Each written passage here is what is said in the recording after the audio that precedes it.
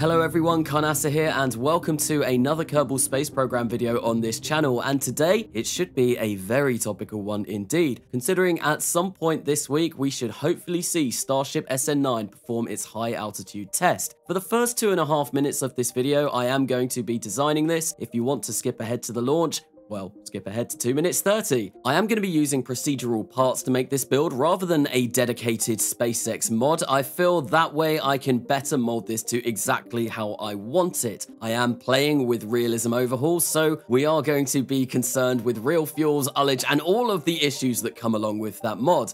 I have now just placed three of those Raptor engines on the bottom of this, underneath the massive 9 meter diameter core stainless steel tank. That is a really nice option with Realism Overhaul procedural parts. You can actually make that tank the stainless steel tank that Starship will be using. I have used a procedural fairings boat tail adapter for the bottom of this. That is where I have tucked away those Raptor engines. Right now, I am placing on some cameras because I did want to try and get some cool camera shots of those engines as we fire them up. But now I am going to be working on the part that took by far the longest for this build, and I do want to give out a bit of a disclaimer. This isn't going to be the final build. I did have to come in and I did have to edit these flaps several times in order to make this craft actually aerodynamic. It was rather difficult fine-tuning these. And one issue that I was having with the top flaps is they wouldn't quite go flat, they wouldn't go perpendicular to the Starship,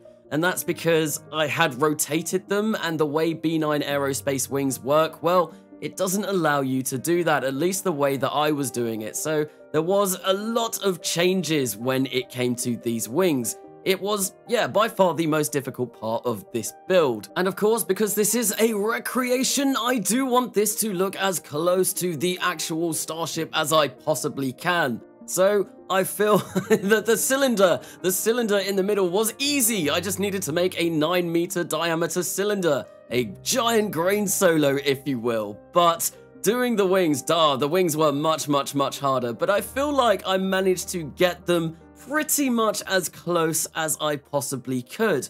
But there we go. We have a finished Starship.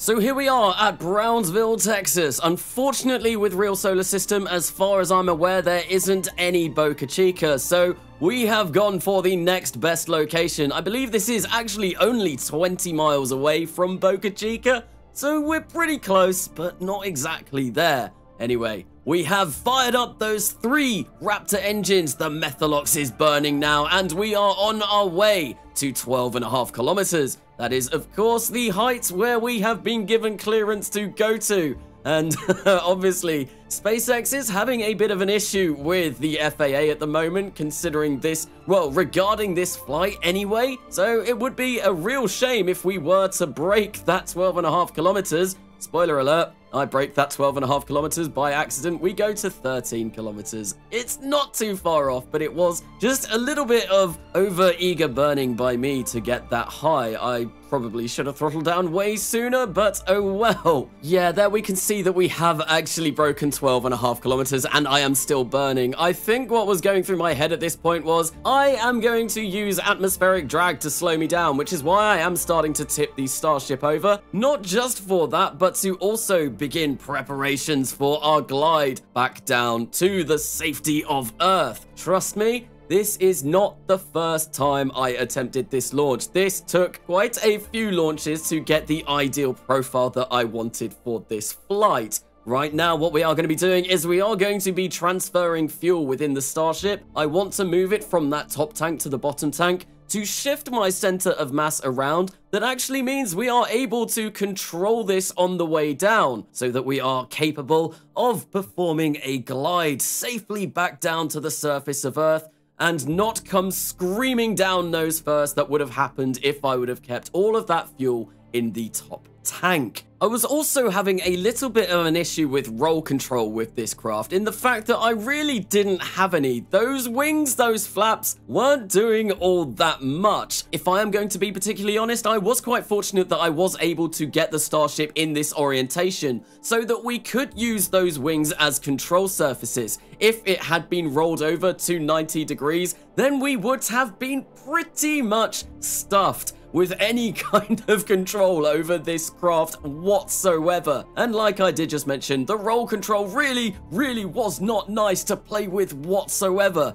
But here we can see we are just about to make it through the cloud layer now. We are only 4,000 meters above the surface of Earth, and we are coming down at a nice, slow, and steady 120 meters per second. And of course, our velocity is coming down due to the fact that we are entering a thicker part of the atmosphere and we are really slowing ourselves down by being in this orientation. We need to get ready for the all-important belly flop maneuver though. And in order to do this, what I'm going to do is I'm going to transfer all of the fuel to the bottom tank that way, our center of lift will be above our center of mass and we should start pointing upwards. There we go. I have tried to light the Methalox engines yet again, but I forgot to unlock the tank, so that didn't go well. And there we go. They have finally reignited, and this Starship is going to perform a bit of a flip around. Unfortunately, because I forgot to unlock those tanks, well, we started our burn a little bit too late and we came down far too hard. How about we try that again? So thankfully, because I made a quick save, we were able to go to a point that really wasn't too far back. And this time, I am going to make sure that I do unlock those tanks. We have moved our fuel over yet again. We are turning and we have lit up those three Raptor engines, this time with plenty of time to spare. And now it is just a case of controlling our throttles so that we bring ourselves nice and slowly down to the surface of Earth. We are now only 100 meters away, and yes, 10 meters per second and slowing down. We have successfully brought SN9 down with no rapid unplanned disassembly. Thank you for watching this video. If you've enjoyed it, why not give it a like? If you've really enjoyed it and want to keep up with the content on my channel, please do consider subscribing. I would like to thank Bible Guy for the support and of course the rest of my patrons for their continued support as well.